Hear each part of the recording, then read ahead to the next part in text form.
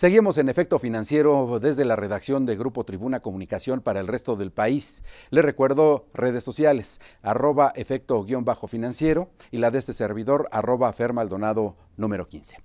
Bueno, pues el periódico español El País lo considera ya como el rey absoluto del cemento en el mundo. Y es que para este rotativo europeo, la fusión de la francesa eh, Lafarge y la suiza Holcim dará lugar al mayor productor de este material con ventas conjuntas de hasta 32 mil millones de euros. Se trata de la mayor operación del año en Europa, realizada según las empresas para adaptarse mejor a la competencia global y tendrá eh, que pasar los controles de las autoridades de competencia económica, sobre todo en la Unión Europea y también en los Estados Unidos. Para tratar de esquivar posibles obstáculos, el nuevo gigante del cemento realizará eh, inversiones por 5 mil millones de euros. En este contexto y a propósito de este tema, me da gusto saludar en este espacio a Nadia Romero, especialista en el tema. Nadia, muy buenas noches. Hola Fernando, muy buenas noches. Nadia, gracias por este espacio. ¿Qué impacto tendrá para el eh, segmento cementero el anuncio de esta mega fusión entre estas dos firmas europeas? Ok, lo que Holcim y Lafarge están haciendo con esta fusión es buscar una fortaleza, la cual se presentaría en los mercados donde ya tiene presencia, como es África, Asia y Europa.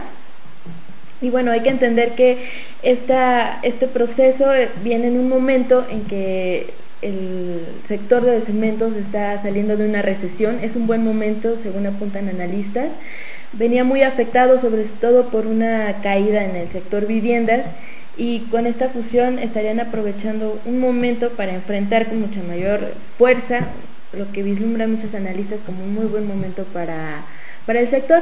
Hay que explicar también que ambas empresas tienen un nivel similar en cuanto a estados financieros se refiere. Son empresas que podrían verse como rentables. Haciendo un ejercicio en cuanto al retorno de capital, estamos viendo crecimientos del 2012 al 2013 en ambas empresas. En el caso de Holcim se ve un crecimiento del 5.3 al 8.5 aproximadamente, en tanto que la Farge creció de 3.4 a 5.2 aproximadamente, lo que puede ver, ser visto como empresas bastante rentables. ¿Y de qué manera repercutirá esta alianza para cementos mexicanos, el principal fabricante de cemento en nuestro país? Bien, hay que entender que ambos, eh, las, estas cementeras operan en mercados diferentes como ya dije, eh, Holcim y Lafarge tienen una presencia muy fuerte en Europa, en África y en Asia, que es donde buscan tener más fuerza, en tanto que Cemex tiene gran fortaleza en América, especialmente en América Central, del Sur, del Caribe y en México, que lideran este, esta región. Hay que decir que Holcim y Lafarge tienen presencia a través de filiales. En el caso de Holcim es Apasco y en el caso de Lafarge es la Fortaleza. Sin embargo, la presencia es mínima. En el, caso de las dos no llega al 6%. En ese sentido, Cemex no enfrentaría a un gran competidor. Sin embargo, en Europa las cosas cambian. En Europa se vería una empresa muy fuerte y además está el tema de la venta de activos. Esta fusión podría implicarle tanto a Holcim como a la Farge por separado la venta de activos.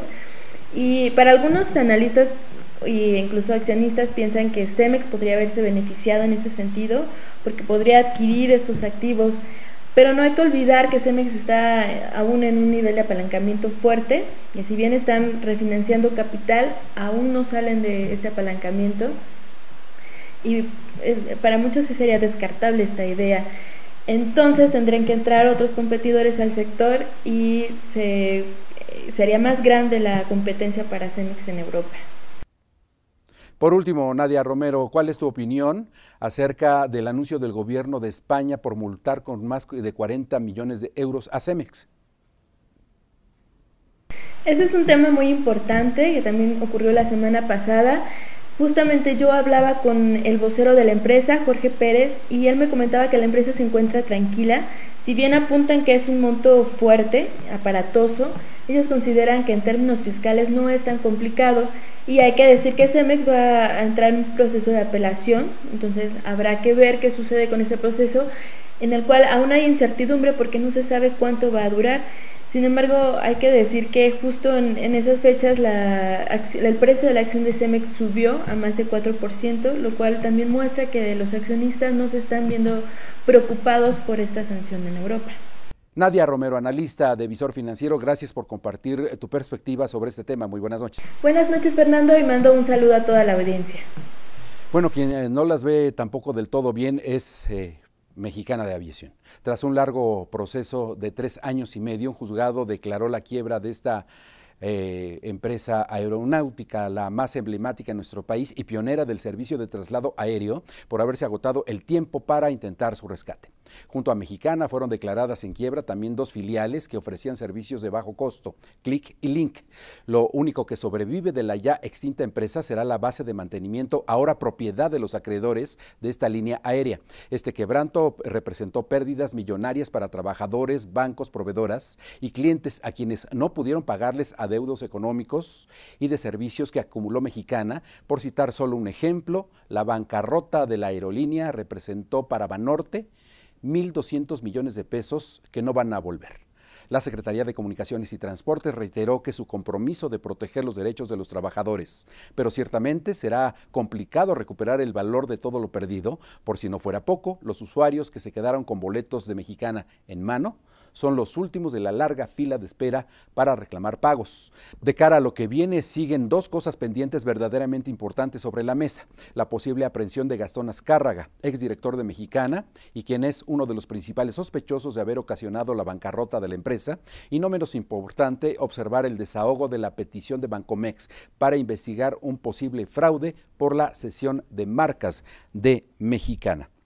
En tanto, el presidente de la República, Enrique Peña Nieto, dijo ante empresarios allá en Nuevo León que la recuperación económica de México sí va.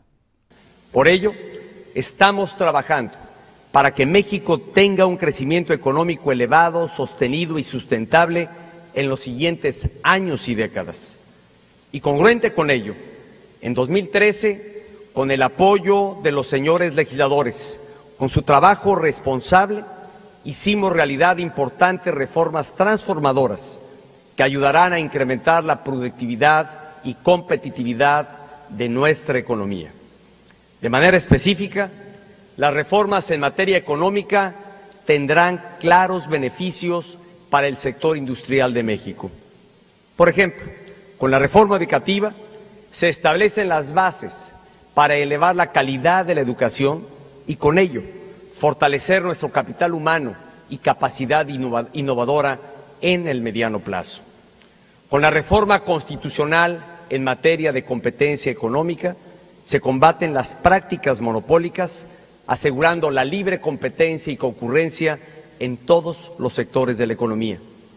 Con ella se benefician especialmente las pequeñas y medianas empresas porque se eliminan las barreras de entrada y se nivela el terreno de juego.